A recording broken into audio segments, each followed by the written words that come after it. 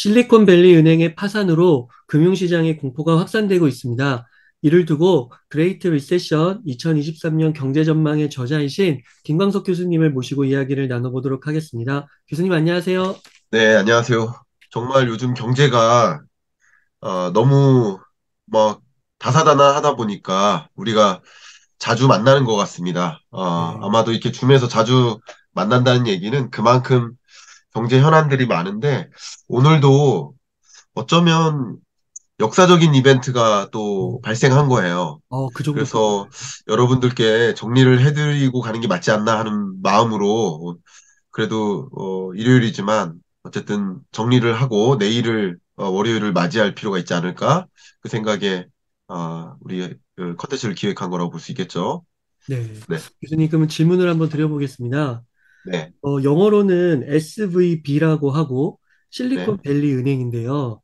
이 네, 실리콘밸리 은행의 파산 소식으로 오늘 정말 하루 종일 떠들썩했습니다. 먼저 이 SVB가 어떤 은행인가 좀 설명 부탁드리겠습니다. 네. 뭐 말씀하신 대로 SVB라는 이 개념 자체가 실리콘밸리에 있는 은행인데 굳이 따지면 이제 특수한 은행이라고 볼 수 있겠죠. 우- 우리나라에 있는 주요 은행들 같은 경우는 굳이 따지면 뭐 일반 가계 금융도 하지만 기업 금융도 하고 둘 다 하는 경우가 많죠. 근데 예를 들면 우리나라에 시티뱅크가 들어와 있잖아요. 그 네. 시티, 시티뱅크 같은 경우는 온전히 기업 은- bank만 합니다. 어, 기업 금융만 합니다. 그러니까 어, 그 은행이 존재하는 이유는 기업과 금융을 하기 위해서, 기업과 거래하기 위해서 있는 거죠. 그런 식으로 이제 비즈니스 전략이 다 은행마다 차이가 있을 텐데, 역시 실리콘밸리에 있는 지역은행답게 뭐가 있습니까? 스타트업들이 많이 있지 어, 않습니까? 소위 big tech 기업을 비롯한 각종 스타트업, 뭐 벤처 기업 이런 기업들이 많이 있겠죠. 역시 그런 벤처 기업들의 금융을 어, 제공해 주거나 혹은 그 스타트업들에게 금융을 제공해 주기도 하지만 그들에게 뭐 투자 금액을 주기도 하지만 그들로부터 또 예금을 받기도 하겠죠. 그런 방식의 어, 비즈니스를 영위하는 그런 기업입니다. 이 기업이 그냥 간단한 뭐 작은 규모의 은행이 아님을 제가 여러분께 좀 설명드리고 싶은데요. 어, 제가 지금 파워포인트를 보여드리면서 설명을 좀 드려보겠습니다. 자, 화면을 공유해드리면 미국 20대 은행 순위 그리고 각 은행의 자산 규모를 여기 제시해 놨는데요. 미국의 이 JP 모건부터 시작해서 BOA죠. 뱅크 오브 아메리카 그리고 시티뱅크, 웰스파고 이게 미국의 4대 은행입니다. 네. 아, 우리로 치면 뭐 우리 5대 은행이 있죠. 신한은행, 국민은행, 뭐 하나은행, 어, 뭐 농협은행도 있고 이렇게 있지 않습니까? 그런 은행급이고 쭉 가보면 16대 자산 규모를 갖고 있는 와, 어, 그런 은행입니다. 그러니까 실리콘밸리 뱅크가 작은 은행은 아니다. 아, 이걸 한 가지 말씀드리고 그 위에 바로 있는 그 은행들 보면 여러분 굉장히 어, 익숙한 은행들이에요. 보시면 네. 모건 스탠리 프라이빗 뱅크도 여기 있고요. 그거보다 어, 못한 은행도 여기 보시면 어, 모건 스탠리 은행도 있고 그 근처에 뭐 TD 뱅크도 굉장히 유명한 은행이고요. 어, 뱅크 오브 뉴욕, 멜론 이런 은행 다 골드만삭스 뭐 쭉 보시면 정말 말 그대로 큰 은행이다. 그러나 비즈니스의 모델이 그러하다. 이렇게 말씀드리는 거고요. 요 정도로만 여러분은 이 은행에 대한 특징을 좀 이해하시면 도움이 될 것 같고, 우리나라로 비교를 한다면 거의 어, 5대 은행 다음 정도? 그 어, 정도 사이즈? 예. 음, 그 정도 사이즈니까 뭐 굉장히 큰 은행이다. 이렇게 볼 수 있겠습니다. 어, 네. 어, 뭐 크다면 규모가, 크고 작다면 작은데 어, 어, 무시할 만큼 작은 은행은 아니다. 이렇게 볼 수 있겠습니다. 네. 어, 규모가 상당한데요. 이 SBB 파산이 어느 정도로 위협적인 사건인지 경제적으로 좀 어떤 영향을 미칠 건지 궁금합니다. 네. 앞에 말씀드렸었던 것처럼 이게 작은 은행은 아니다라고 말씀드렸는데요. 역사적으로 이게 정말 큰 일인 것인지 한번 말씀드려 보겠습니다. 제가 이렇게 주제를 달았는데요. 미국 역사상 두 번째로 큰 은행의 파산이다. 음, 야, 이렇게 정리할 수 있겠습니다. 네, 그러면 작은 건 아니죠. 네, 그러니까 은행의 파산 규모로 보면 2008년 글로벌 금융위기 때 가장 컸었고요. 그동안 그만큼의 파산은 사실 없었는데 23년에 그 파산이 등장한 것이다. 어, 그 규모를 좀 보시면 2008년에 파산한 그 은행이 어, 워싱턴 뮤추얼 뱅크 그리고 여기 인디맥 뱅크 이 두 개의 은행이 이제 파산한 거예요. 그래서 어, 이때 이제 307 billion 규모의 자산 규모의 은행이 파산한 게 가장 컸었고요. 어, 그리고 이번에 두 번째 209 billion 어, 규모의 아, 소위 second biggest 한 그 은행의 어, 어, fai, failure 예, 파산이 있었다. 이렇게 좀 판단할 수 있겠고요. 좀 비교를 해본다면 어, 미국 역사상 그 파산한 은행들의 어, 규모를 쭉 나열해 보면 자산 규모나 deposit 규모로 봤을 때 앞에 말씀드렸던 2008년 글로벌 금융위기 때 이, 이 워싱턴 뮤추얼 뱅크 요 요거 하나가 파산했던 거. 그리고 그 다음 와, 실리콘밸리 뱅크가 2003년에 파산한 거. 그러니까 자산 규모나 아니면 디파짓 규모나 어, 그걸로 봤을 때 그냥 역대급에 해당될 수 있겠다. 뭐 작은 규모까지는 아니다. 아, 요렇게 정리하면 어떨까? 어, 의견을 드립니다. 그러니까 이렇게 작은 규모까지는 아니다. 너무 작은 건 아니다. 근데 다만 이게 일반 지역은행이거나 일반 빅뱅크라고 한다면 소위 전통적인 은행 사업 구조를 갖고 있는 상태에서 파산을 하면 또 다른 그런 비슷한 사업 구조를 갖고 있는 대부분의 은행들에게도 연쇄적으로 파산 가능성이 있을 수 있겠구나라는 걸 진단할 수 있겠죠. 다만 이 은행의 경우에는 그 파산의 이유 자체가 이 스타트업을 중심으로 한 비즈니스 구조를 갖고 있기 때문에 이렇게 저 경기 침체에 민감하지 않겠습니까? 어, 그런 국면이기 때문에 이거 자체가 다른 은행에까지 연쇄 파산을 어, 가져다 줄 만한 그런 영향 요인은 상대적으로 작다. 어, 상대적으로 작다. 그건 좀 위안이 됩니다. 음, 그러나 이 정도 규모의 은행이 그냥 지역은행이었거나 그냥 평범한 개인금융도 하고 기업금융도 하는 그 파급 영향은 좀 더 컸을 수도 있겠다. 뭐 이렇게 저는 진단을 하고 있습니다. 아, 네. 그 교수님, 이 SVB 파산 이유를 조금 깊게 엿듣기 전에 그 뉴스를 네, 보니까 채권 얘기가 많이 나오더라고요. 맞아. 그래서 이 채권의 좀 원리를 먼저 좀 저희가 이해를 해야 될 것 같은데, 뭐 채권 가격과 또 채권 금리는 왜 반비례하는가? 반비례한다는 얘기까지 많이 들으셨는데 그걸 명확하게 이해하시면 아, 이 SBB가 파산하게 된 배경을 명확하게 이해하실 수 있고 아마도 요것은 쇼츠 영상으로도 괜찮은 수준의 영상이 될 수도 있겠다라는 어, 그런 말씀도 좀 드려보도록 하겠습니다. 자, 화면 공유를 하면서 드리겠습니다. 일단 채권이 뭔지 말씀드려 볼게요. 결국 채무자가 돈 좀 빌려주세요 하는 거예요. 그러면 돈을 빌려주겠죠.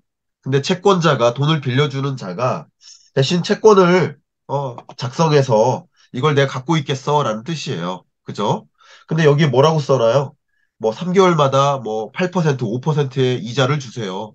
그리고 3년 뒤에는 원금도 같이 주세요 라는 어, 채권을 발행하고 소위 돈을 빌려준다라는 어, 합의 증서를 작성하는 게 채권이라고 볼 수 있겠죠. 그럼 이 증서를 갖고 있으면 자, 내가 채권자야. 라는 것을 보여줄 수 있는 거라고 볼 수 있겠습니다. 그게 채권을 발행한다. 그냥 대출하고는 조금 차이가 있는 거죠. 자, 그런데 여기서 이 채권을 산다. 이것은 그 사는 대상, 채권을 발행하는 사람이죠. 그 사는 대상에게 돈을 빌려준다는 뜻이죠. 그죠? 그러니까 은행이 대상에게 돈을 빌려준다. 이게 채권을 산다. 이거죠. 대신 그 대가로 이자를 받는 거죠. 음, 근데 보시면 그 투자자가 일반적으로 이 투자자는 뭐 은행이 될 수 있겠죠. 그러면 채권을 누가 발행해요? 그 회사가 발행하는 거. 정부가 발행하면 국채가 되겠죠. 지자체가 발행하면 뭐 지자체 채권이 또 되, 겠고요. 뭐 특수법인 회사가 발행하여 그걸 회사채라고 할 수 있겠죠. 그리고 뭐 공공기관, 공사가 발행한다 공공채 이렇게 되겠죠. 이들이 채권을 발행하고 이 투자자가 채권을 사주는 거예요. 그러면 그 빌린 금액과 이자나 만기 같은 걸 표기하는 게 채권이다. 여기까지는 이해 가셨을 겁니다. 이게 채권의 개념이에요. 자, 그런데 여러분들이 궁금해 하시는 게 이겁니다. 채권 금리가 올라가면 채권 가격은 떨어진다. 반대로 채권 가격이 올라가면 채권 금리는 떨어진다. 이 관계는 이미 좀 알고 계신 것 같은데 왜 이런 관계가 있는지를 좀 설명드려 보도록 하겠습니다. 제가 오늘 나, 어, 저녁에 테니스를 쳤는데 갑자기 그, 그 꽃샘추위가 와가지고 어, 감기 기운이 또 왔어요. 어, 땀을 뻘뻘 흘리니까 조금 양해를 좀 부탁드립니다. 목소리에 좀 코맹맹이 소리가 나네요. 자, 이거 이 원리를 지금부터 한번 설명드려 볼게요. 자, 채권 가격이 100만 원이에요. 그러면 3년 있다 갚으세요라고 하면서 발행한 거잖아요. 근데 그때는 105만 원으로 주세요라는 거예요. 그죠? 그럼 그때 이 수익률이 몇 퍼센트예요? 5%. 5%예요. 그 수익률은 곧 시장 금리인 거예요. 자, 그러면 채권 가격은 계속 바뀌는데 돌려줄, 다시 돌려받을 돈은 정해져 있는 거예요. 주식하고 달라요. 음, 주식 가격은 액면 가격이 계속 바뀌는 거잖아요. 네, 그죠? 근데 액면 가격은 고정이에요. 여기 보세요. 근데 만약에 금리가 올라가요. 그러면 채권 가격을 떨어뜨리는 거예요. 채권 가격을 떨어뜨리면 결국 이 차익값이 금리가 올라가는 거죠. 네, 발행하는 채권 가격이. 반대로 채권 가격이 올라가면 이제 수익률은 0%가 되는 거죠. 네, 결국 채권 가격이 계속 바뀌는 거예요. 액면 가격은 그대로인데 왜냐하면 3년 후에 얼마 받겠다라는 그 금액은 똑같은데 지금 채권 가격, 발행하는 가격 자체는 계속 변동하는 거예요. 그러니까 결국 채권 가격이 떨어지면 채권 금리는 올라가는 것이고 채권 금리가 반대로 올라가면 채권 가격은 떨어지는 거예요. 네, 관계가 그런 거예요. 자, 반대로 얘기해 볼게요. 미국 연준이 계속 금리를 인상해서 시장 금리가 이렇게 올라간다고 해볼게요. 그러면 당연히 채권을 발행할 때 더 싼 가격으로 발행해야 되겠죠. 네, 어, 그러니까 결국은 더 부담이 될 수밖에 없는 거예요. 음, 그래서 결국 이렇게 금리가 올라가도 채권 가격이 떨어지는 것이고 또 채권 가격이 반대로 생각해도 채권 가격이 떨어져도 금리가 올라가는 것이다. 이렇게 생각해 보시면 어쨌든 채권 금리와 채권 가격 간의 그 관계를 어, 충분히 이해하실 수 있을 거라고 생각이 되고 이게 중요한 어, SVB의 파산의 어, 배경이 됩니다. 그래서 어, 좀 설명을 드렸습니다. 어, 네. 어, 교수님 채권 개념 이해 너무 잘 되었습니다. 어, 네. 그러면은 SBB가 왜 파산한 걸까요, 교수님? 네. 앞서 말씀드렸던 이제 채권 시, 어, 시장 그 자체에 대한 이해를 바탕으로 해서 말씀드리면 조금 더 명확해질 것 같습니다. 이첫 번째는 앞서 말씀드렸던 것처럼 이 높은 금리와 또 민감하게 반응하는 그 산업군 자체의 의미도 우리는 생각을 해야 됩니다. 앞서 말씀드렸던 것처럼 실리콘밸리에 있는 이 빅테크 기업들, 스타트업들이 소위 경기 침체에 민감한 거죠.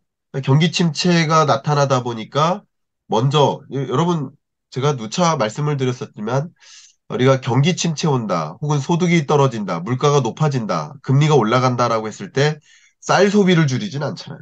네, 내구재 소비는 줄이는 거예요. 그러니까 이런 테크놀로지 기업들의 아, 소비는 내구재 소비와 관련된 것들이기 때문에 또 기업의 설비 투자와 관련된 것들이기 때문에 상대적으로 경기에 더 민감합니다. 그러니까 이렇게 높은 금리를 지켜, 높은 금리로 계속 어, 올라가는 그런 과정에서 이 기업들이 경기 침체를 만나고 그리고 이 기업들이 소위 이 경기 침체에 민감하다 보니까 소위 매출도 제대로 안 일어나고 그러면 어 뭐 이 은행으로부터 돈을 빌린 투자 받은 그런 어 기업들 같은 경우는 돈을 제때 못 돌려주는 상황이 될 수도 있겠죠. 그리고 더군다나 금리도 올라가니까 이자 상환 부담도 굉장히 커지고 음, 매출은 부족한데 이자 상환 부담은 커지니까 이 스타트업들이 감당하기가 어렵겠죠. 그러면 돈을 못 돌려주는 그런 기업들이 발생할 수 있겠죠. 그것도 이제 한 가지 이유입니다. 그러니까 은행은 소위 돈을 저축받고 돈을 빌려주는 비즈니스잖아요. 근데 돈을 빌려주는 대상이 일단 어려운 거예요. 첫 번째. 어, 그래서 이 은행이 좀 부실해지는 거다. 첫 번째가. 그 두 번째는 그런 상황이 계속 전개되니까 이 은행이 어, 안 되겠다. 나 돈 저축했던 저축자들이 돈 돌려받아야겠다. 어, 라는 생각으로 더 달려듭니다. 이게 뱅크런이죠. 그런 것들이 또 야기되다 보니까 저말 그대로 이 무디스가 이 SBB에 대한 그 신용 등급마저 강등시킵니다. 그러니까 더 불안해지죠. 뱅크런이 더 발생하죠.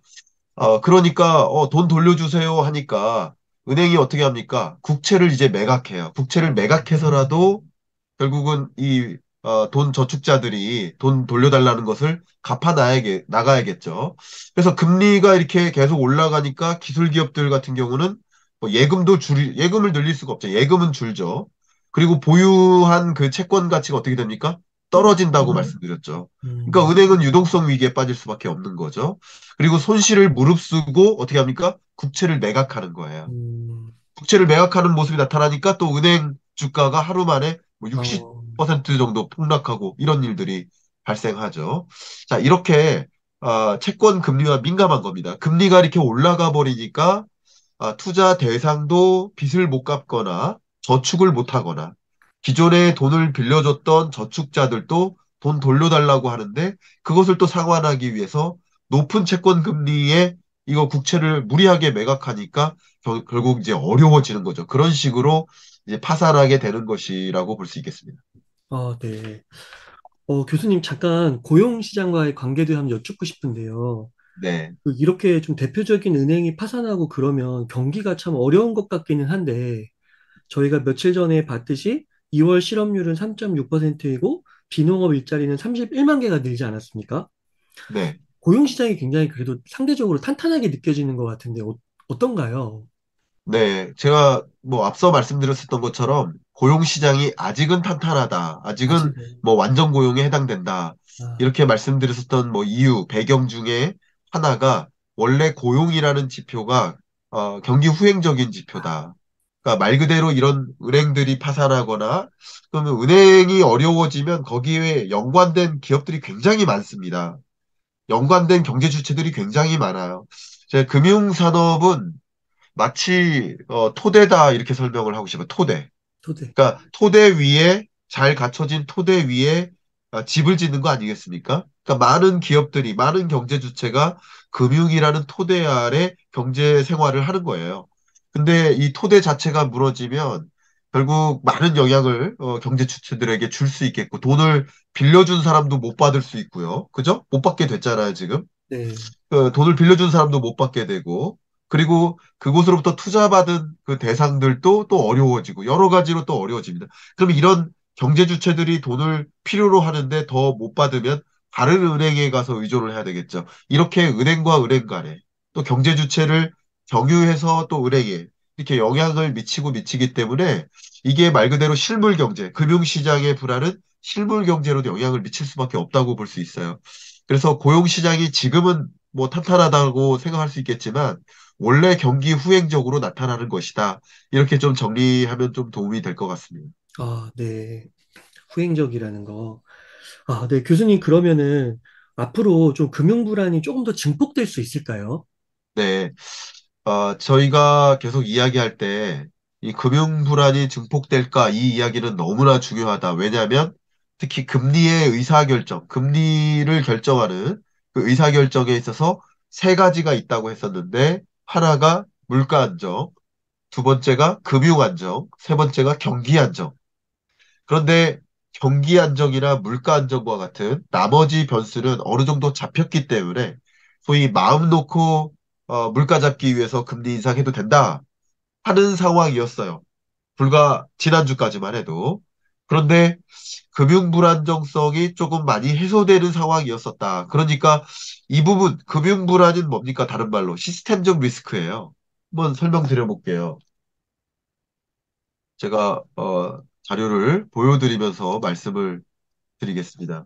제가 이미 말씀은 드렸었는데 SBB가 그 파산한 배경에 대해서도 말씀을 드렸습니다만 특히 파산하게 될 경우 금융 불안 문제가 커지는데 결국 이렇게 손해를 보고 어, 채권을 매각해야 되는 상황이 된 거예요.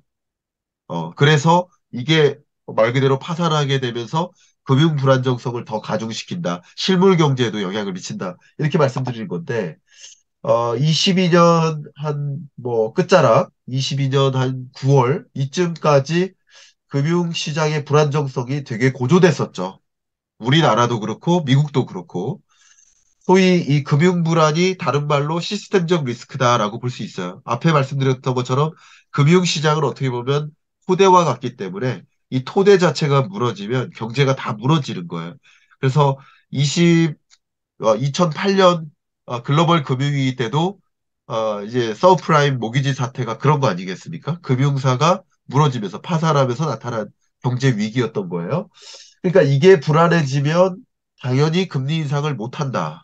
라고 말씀드렸어요. 아무리 물가 잡는 것도 중요하지만 금융 불안이라는 것을 염두에 두면서까지 물가 잡기 위해서 움직일 수가 없는 것이다. 이렇게 제가 강조하고 싶습니다. 그런데 지금 보여드린 것처럼 금융 불안정성이 다소 해소됐기 때문에 그리고 경기도 그렇게 강한 경기 침체까지는 아니네. 마일드한 경기 침체네. 라고 두 가지 요소는 잡혔기 때문에 물가만을 놓고 물가라는 그 데이터를 보면서 계속 금리 강도 높게 인상하겠다라는 발언을 했었던 것인데 당연히 이렇게 금융 불안이 증폭되게 될 경우 금리 인상을 마음 놓고 할 수가 없는 거죠.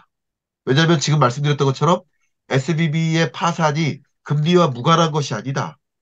결국 은행을 놓고 은행으로부터 대출 받은 자와 대출 해준 자, 그러니까 저축한 자, 양쪽이 금리와 민감하게 연관되는 것이기 때문에 어, 지금 설명드린 바대로 그렇기 때문에 마음 놓고 금리 인상을 할 수가 없는 것이다. 근데 금융 불안이 증폭되고 있는 상황은 맞다라고 제가 강조를 하겠습니다. 어, 왜냐하면 앞에 말씀드렸던 것처럼 물론 SBB에서 끝나면 됩니다.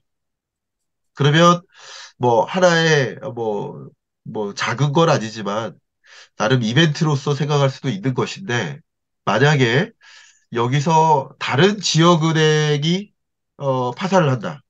그렇게 연쇄적으로 영향을 미친다. 하면 좀 위험합니다. 어, 제가 이 SVB 같은 경우는 비즈니스 구조 자체가 원래 high risk를 어, 취하는 그런 사업 구조를 갖고 있다라고 말씀드렸는데 그러니까 일반적인 은행 혹은 지역은행도 마찬가지. 우리나라로 따지면 어, 대구은행이 있죠. DGB뱅크라고 하죠. 그리고 부산은행이 있죠. 어, 근데 부산은행하고 경남은행하고 합쳐서 BNK라고 하죠, 지금은. 그런 지역은행은 우리 5대 big 은행들하고 비즈니스 구조가 똑같아요. 다만 지역에 있을 뿐이에요. 네. 그러니까 비즈니스 구도가 구조가 전통적인 그런 비즈니스 구조로 똑같은 유형의 은행이 파산을 하게 된다. 그러면 이건 굉장히 안 좋은 시그널이라고 볼 수 있겠죠. 그리고 금융이 또 서로 연관되어 있어요. 워낙에 연관되어 있어요. 그러니까 SBB의 파산으로 소위 어, 자산 규모 빅4 은행들이 다 같이 주가가 급락한 거 아니겠습니까? 음, 네, 그런 것들을 또 생각해 본다면 이게 금융 불안이 당연히 증폭될 수 있겠다라고 보고 있고요.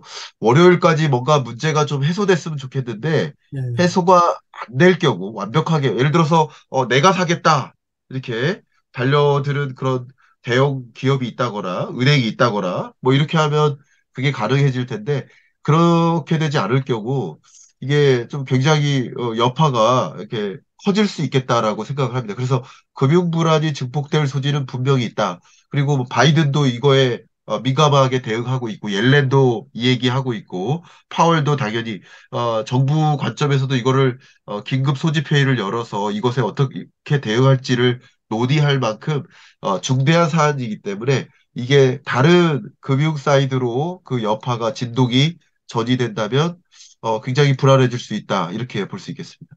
아, 네. 교수님, 그 시장에서는 여전히 좀 비스, 빅스텝에 무게를 두는 모습도 보이고 있는데요. 어, 이 SVB 파산이 이 Fed의 통화정책 방향에 영향을 좀 미칠까요? 어떻게 보시나요? 네, 당연히 영향을 미칠 것이라고 보고 있습니다. 자, 아, 설명을 드리겠습니다. 일단 제가 엊그저께도 보여드렸는데 글로벌 리스크 워치 상에서 통화 긴축 강화 이게 가장 중요한 리스크 요인이다라고 말씀드렸어요. 이렇게 강한 긴축 행보를 보이다 보면 금융사의 부실 혹은 기업의 부실, 기업의 파산 이런 것으로 연결될 가능성이 높아져요, 상대적으로. 어, 우리나라 같은 경우도 굳이 이제 합의를 찾자면 이렇게 어, 부동산 PF가 불안한 상황에서 금리를 동결할 수밖에 없었던 것이 그게 뭐 건설사의 파산, 또 금융사의 부실로 연결될 소지가 없다고 볼 수 없어요. 그렇기 때문에 그런 걸 감안해서 금리를 나름 어, 그것에 더 무게를 싣고 동결한 것이다라고 판단해 볼 수 있을 것 같아요. 이유를 찾자면. 자, 그런데 이게 통화 긴- 긴축 강화, 이런, 이게 굉장히 강한 리스크 요인이라고 말씀드렸고, 또 인플레이션이 지속되고 또 경기 침체 이런 것들이 또 자산 가격을 조정시키잖아요. 이런 것들이 계속 영향을 미치기 때문에 다른 은행들에게도 금융 불안을 더 증가시킬 수 있어요. 결국 이런 것들을 염두에 두고 의사결정을 해야 된다. SBB가 파산이 되기 전까지는 그냥 물가라는 요인만 두고 금리 인상할 수 있었겠지만 당연히 지금은 파산이 어, 되었기 때문에 현실화 되었기 때문에 그냥 페드가 그냥 통화 정책에 이것을 반영하지 않고 무시하고 그냥 마음 놓고 금리를 인상할 수 없는 상황이 된 거라고 저는 해석을 하고 있습니다. 어, 네. 와, 이게 정말 하루가 다르게 빅 이벤트들이 계속 나오는 것 같습니다. 네. 물가도 나오고, 노동도 나오고, 이렇게 또 거대 은행이 또 파산도 하고요. 아, 예, 교수님 오늘도 이렇게 빠른 정리 감사드리고, 혹시 끝으로 하고 싶은 말씀, 강조하고 싶으신 말씀 일단 부탁드리겠습니다. 네. 뭐 미국도 뭐 월- 워낙 금융 시스템이 잘 되어 있고 우리나라도 뭐 그런 시스템이 잘 되어 있어서 일단 그 예금자 보호 제도라는 게 있거든요. 뭐 그 한도가 있어요. 그러니까 우리나라도 우리나라도 역시 어 예금 보험 공사가 있죠. 저도 얼마 전에 다녀왔었는데 그 공사에서 하는 일이 이런 일이 있을 때 예금자에게 뭔가 어 보험적으로 어 뭔가 한도 하에 돈을 예금을 보호받을 수 있게 이렇게 도와주는 그런 제도가 있습니다. 근데 미국도 그런 제도가 있어서 어 25만 달러죠. 하- 한국 돈으로는 이제 3억 3천만 원이니까 이 정도 내에서는 예금 보호를 받을 수 있습니다. 근데 이걸 초과하면 어떻게 돼요? 돌려받지 못하죠. 근데 SBB의 주요 고객사들이 제가 아까 뭐라 했어요? 뭐 스타트업이라든가 벤처 캐피탈 펀드라든가 이런 대부분이 이제 금융사에게 어, 이 비즈니스 관계하에 있는 그 예금을 하고 있는 그 어, 경제 주체들이 기업이기 때문에 예금 규모가 이 보호 한도를 어, 초과하고 있는 경우가 대부분이라고 보고 있습니다. 그러니까 음, 가계가 저축한 거라기보다는 어, 이 기업들이 저축하고 있는 규모니까 그러면 3억 3천만 원 이상을 저축한 그 경제 주체가 기업이 그 돈 이상을 못 돌려받는 상황이 되는 거예요. 그래서 예금자 보호를 적용받지 못할 가능성이 거의 어, SBB 총 예금의 뭐 86% 정도 되는 것으로 지금 보고 있습니다. 결국 돈을 못, 못 받으면 기업에게도 좀 부실이 전가되지 않겠습니까? 이런 것들이 어, 종전까지만 해도 1, 2월 달까지만 해도 미국 경제가 마일드한 경기 침체로 갈 수 있겠다라는 기대를 가고 있었는데 이게 사실 여파가 진동이 커지면 커질수록 그러면 돈을 못 돌려받거나 혹은 돈을 더 급하게 마련해야 되는 그런 기업들이 경제 주체들이 다른 은행에 가서 또 어, 돈을 빌리거나 하는 그런 식으로 여파가 전이 될 수 있거든요. 그래서 일단 어, 이 내용을 바탕으로 해서 이 여러분이 전말을 정확하게 기억하시고 이걸 바탕으로 해서 이게 어떤 식으로 전개될까 잘 마무리될 것인가 아닐까 이것이 금융 불안정성을 얼마나 키울 것인가 아, 그런 것을 좀 염두에 보시면 좋겠고 저랑 함께 이제 화요일 날 발표되는 어, 미국 CPI 물가 상승률 그게 뭐 안 잡히고 올라간다 하더라도 어, 이 금융부실 문제가 굉장히 커지면 음, 금리 인상이 아예 없을 수도 있습니다. 저는 그렇게 생각도 합니다. 그래서 이 어, 여파가 어떻게 전개될지 어, 내일 당장 이제 office day가 되니까 그런 걸 좀 지켜보시면서 어, 경제를 관망하실 필요가 있지 않을까 의견을 드리고 끝으로 드리고 싶은 말씀은 아, 제가 이 꽃샘추위에 당했어요. 어, 정말 이 꽃샘추위에 어, 이제 테니스를 치면 이제 땀 뻘뻘 흘리면서 운동하거든요. 다시 감기가 왔는데 지금 우리 세계 경제도 미국 경제도 어, SBB의 파산이 마치 예상하지 못했던 꽃샘추위처럼 찾아온 게 아닐까 뭐 그런 생각을 해보고 연준도 어, 이 어, 스탠스를 어, 긴축의 스탠스를 또 옮겨갈 수도 있는 계기가 된다 어, 이렇게 어, 생각할 수 있을 만큼 어, 역사적인 일이 발생했으니까 여러분들 어, 이 SVB 사태를 잘 정리하시고 잘 모니터링 하시면서 어, 잘 경제를 관망해 주시기를 좀 바라는 마음입니다. 그 우리나라 경제도 이렇게 미국과 많이 연동되어 있잖아요. 네. 그래서 진짜 말씀해 주신 대로 정말 세밀한 모니터링이 좀 필요한 시점이 아닌가 싶습니다. 네. 네, 교수님, 그러면 오늘 인터뷰 이 정도에서 마무리하도록 하겠습니다. 이렇게 해서 Great Recession 2023년 경제 전망의 저자이신 김광석 교수님을 모시고 이야기를 나눠봤습니다. 긴 시간 동안 유익한 insight 많이 나눠주셔서 감사의 말씀드립니다. 오늘 고생 많으셨습니다. 감사합니다.